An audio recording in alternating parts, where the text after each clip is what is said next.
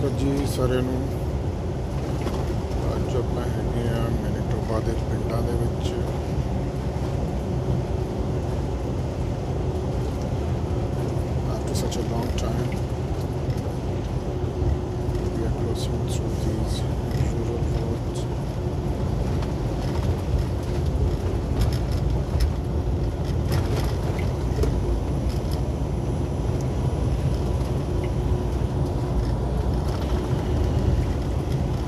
ਪੱਚੀ ਤੀਹ ਕਿਲੋਮੀਟਰ ਤੋਂ ਬਾਅਦ ਆਪਾਂ ਚੜ ਜਾਣਾ ਹੈ ਟਰਾਂਸ ਕੈਨੇਡਾ ਹਾਈਵੇ 1 ਤੇ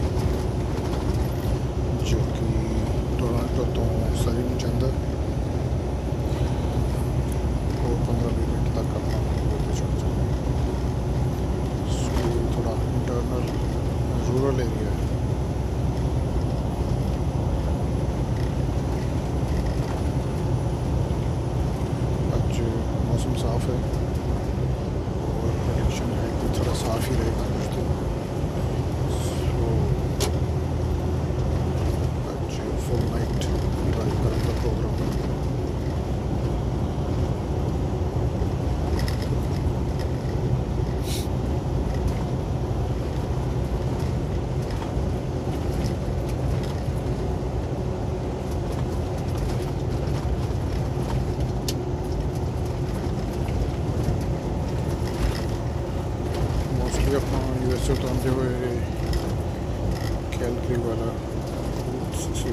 बॉर्डर क्रॉस करते हैं बट इस टाइम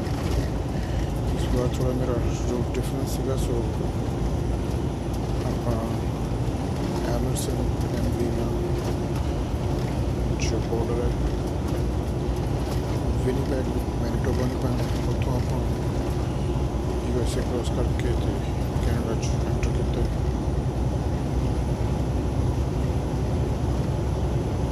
ਸਟ੍ਰੈਚ ਵੀ ਕਾਫੀ ਲੰਬਾ ਪੈ ਜਾਂਦਾ ਹੈ ਟਰਾਂਸ ਕੈਨੇਡਾ ਹਾਈਵੇ ਨੰਬਰ 1 ਵਾਲਾ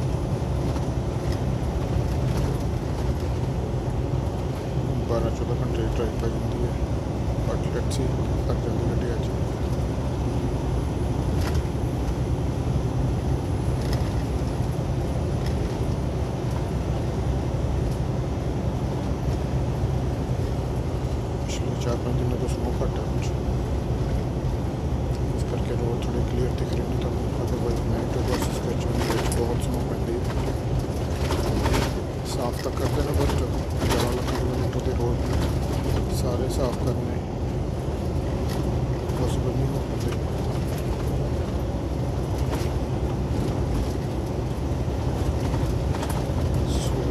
ਹੀ ਸਟ੍ਰੈਚ ਹੈ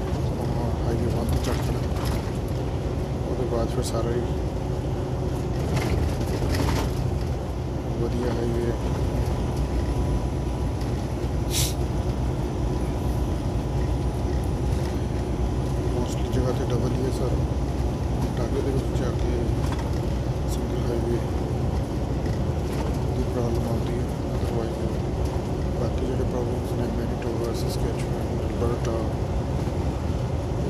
ज़्यादातर जो हिस्सा है, वो डबल ही। है हाईवे। ओंटारियो के बच्चे सिंगल हाईवे है। काफ़ी परेशानी सर्दियों में स्पेशल गर्मी कोई प्रॉब्लम नहीं होती बट चलता रहता है, परेशानी हो गई, ना हो गई, जगह रूट है, उन्हें चलना ही है।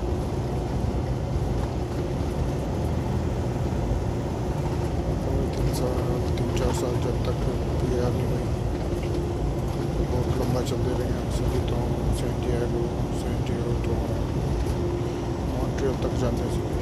मॉन्ट्रियल तो टोरंटो टोरंटो तो एडमिट तो सॉरी अपने बारूट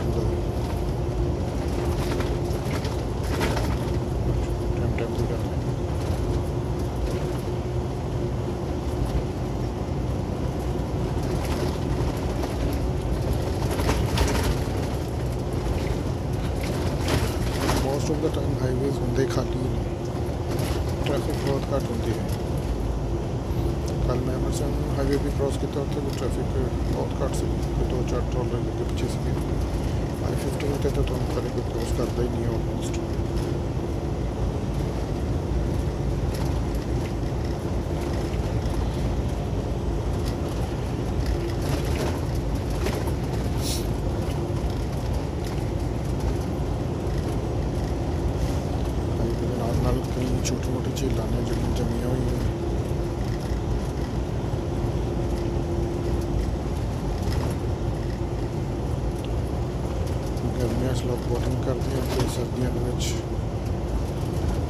चीप है यहाँ पे कोई लोग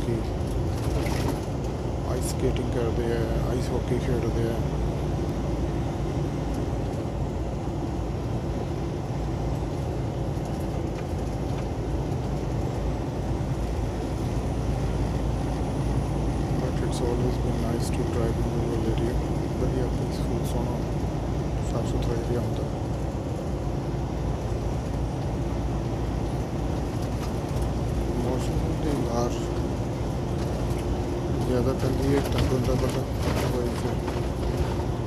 Estudiar American law Even कि जो यूएस से जो कैनेडा का पापा कंपेयर करते हैं तो कैनेडा इंफ्रास्ट्रक्चर वाइज ट्रकिंग के इंफ्रास्ट्रक्चर वाइज काफ़ी पीछे है गाड़ियों तो लैके तो सभी तक हार्डली कोई दो तीन वधिया rest area otherwise rest area भी कोई चजदा नहीं है हाईवे भी ओंटारियो सिंगल है ਬਟ ਯੂਐਸ ਦੇ ਵਿੱਚ ਹਰ 25 30 40 50 ਮੀਲਾਂ ਤੋਂ ਬਾਅਦ ਵਧੀਆ ਸ਼ਾਨਦਾਰ ਰੈਸਟ ਏਰੀਆ ਔਰ east to west north to south ਸਾਰੇ ਕਿਤੇ ਹੀ ਨੇ proper well maintain rest area ਬਹੁਤ ਸੋਹਣਾ ਕੈਨੇਡਾ ਨੇ ਅਜੇ ਵੀ ਟਰੱਕਿੰਗ ਦਾ ਜੋ ਬੇਸਿਕ ਇਨਫਰਾਸਟ੍ਰਕਚਰ ਹੈ ਉਹ ਇੰਨਾ ਵਧੀਆ ਡਿਵੈਲਪ ਨਹੀਂ ਕੀਤਾ प्रॉपर सैनिटाइजेशन भी नहीं है और एस टी भी काफ़ी कट है। ना बराबर में।